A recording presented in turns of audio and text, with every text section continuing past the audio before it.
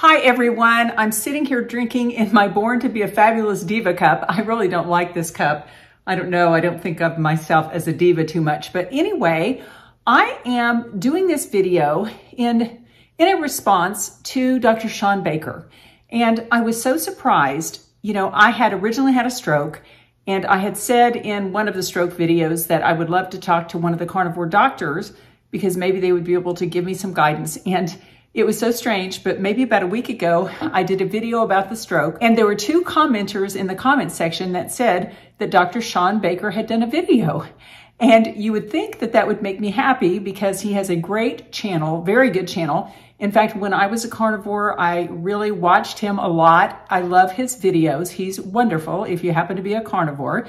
But my first response was, oh my gosh, a carnivore has done a video in response to my video, I was scared.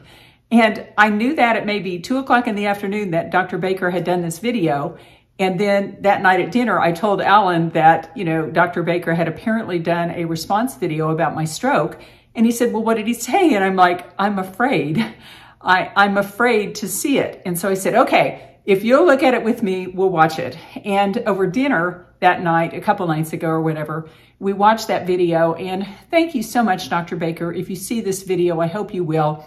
You are very kind and gracious and quite knowledgeable.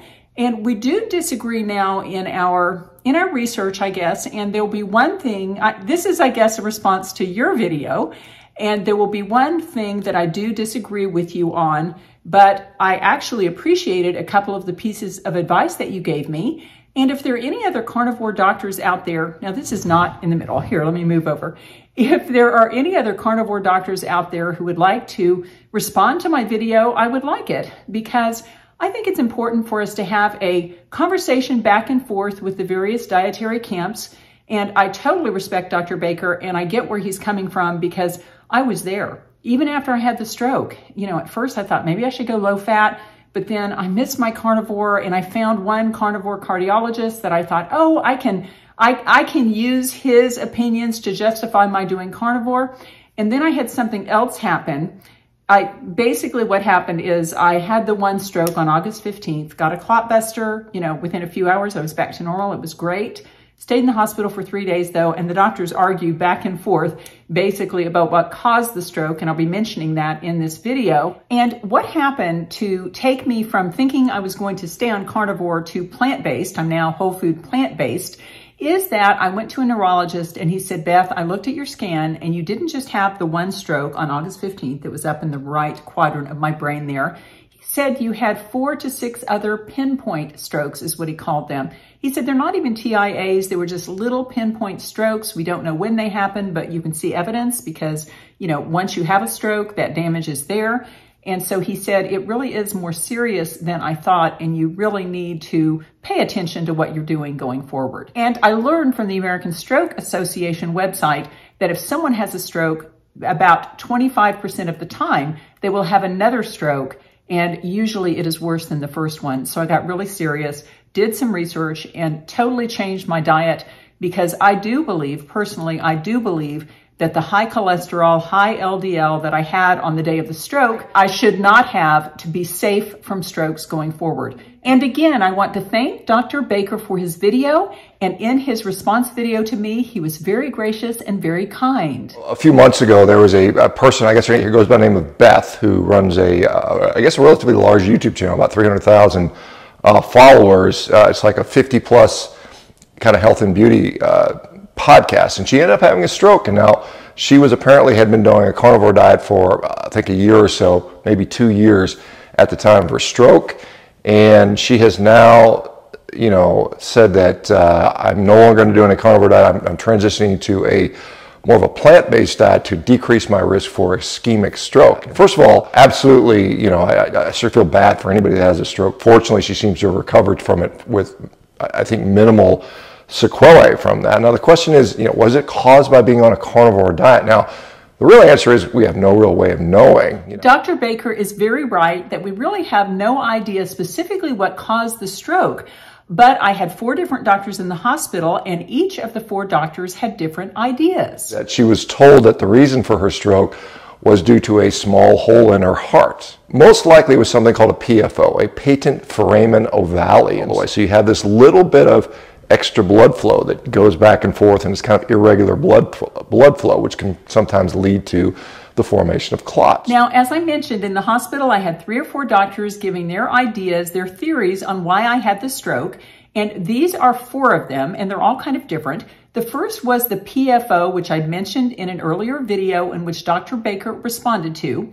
A cardiologist in the hospital, who is now my cardiologist, he initially thought I had a PFO or a small hole in my heart, but then maybe four to six weeks after I left the hospital, he scheduled a different angiogram in the hospital to look at it. And when he looked at it, he said, Beth, that PFO hole is so tiny.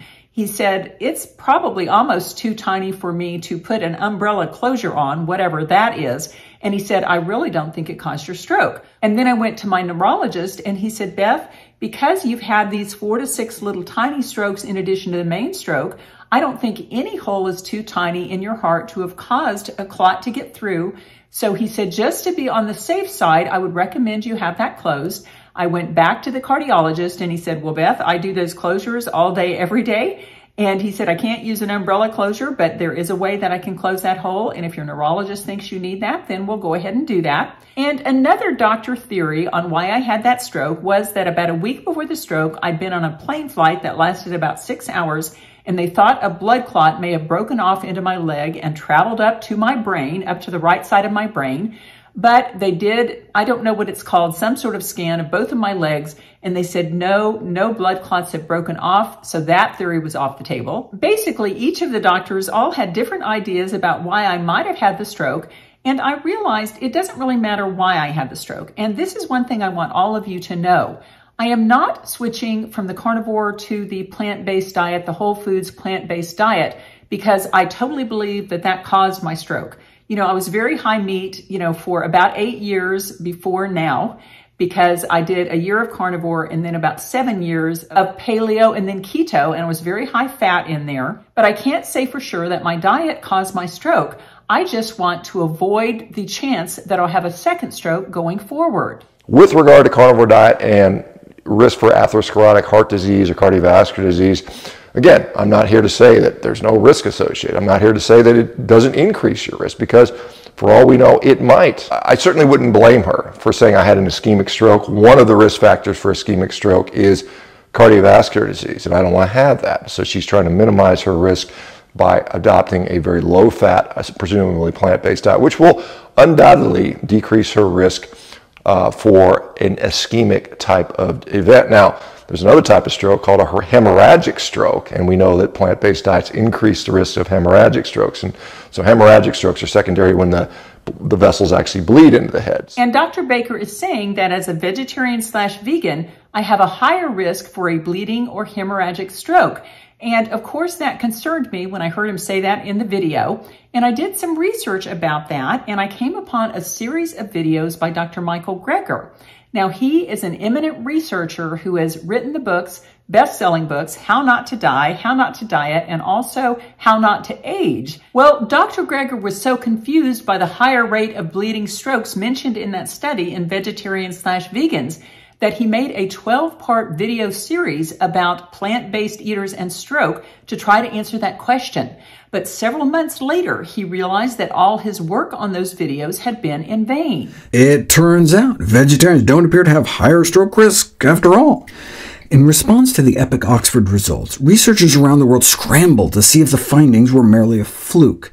In 2020, UK Biobank, a massive study following more than 400,000 volunteers, confirmed that vegetarians had lower cardiovascular disease rates and, importantly, no increased incidence of stroke.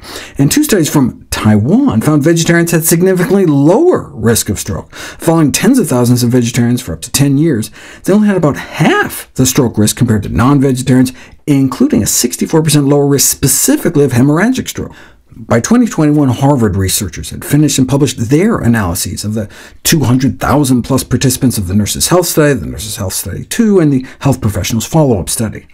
They, too, found no increased stroke risk for vegetarians, and indeed a decreased risk of stroke among those eating healthy plant-based diets.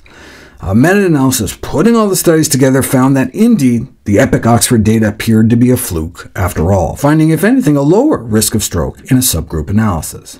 So it looks like vegetarians and vegans really don't have that increased risk for hemorrhagic strokes, which was mentioned in that initial 2019 study, which I was glad about. But then Dr. Baker mentioned two additional risks that he thought I should be aware of. Well, hopefully she will do well in this new dietary venture. Hopefully she won't have issues with uh, frailty and osteopenia and, and some of the things that are so common with plant-based diets. So hopefully she adds lots of protein in there, continues to, does resistance training if she's not doing that already and continues to do that. Based on the little that I know, that's the input I'd provide. Dr. Baker, I really did appreciate your suggestion there. And I also do resistance training, but I have to admit, I am not as buff as you are. And seeing your great level of physical fitness makes me want to get down in the gym and really work a little harder. I've been kind of laying back on the weights a little bit lately, and you reminded me that I really should not be doing that. And I particularly appreciated your reminders about frailty and making sure I get enough protein. And in fact, after I saw your video, I did start doing research about those issues and counting the grams of protein in what I'm getting each day, and I super appreciated your guidance there. Now, at this point in the video, I always like to leave you with a little thought for the day. And Dr. Baker's wonderful video and his very reasoned response just reminded me again of my thought for the day, which is that Lately in the society, it seems like we're disagreeing more and more and more. And while compromise used to be how we dealt with disagreement, now it just seems it's like you fight your side, they fight their side, fight, fight, fight, fight, fight. I even noticed that in the comment section sometimes between carnivores and whole food plant-based. But let's try not to do that. Let's go back to childhood and kind of remember that simple idea that we should treat others how we'd like to be treated. Because you know, even if we disagree, we don't have to attack each other personally to get our point across. Love and respect are always a great way to go. Take care and I'll see you in my next video.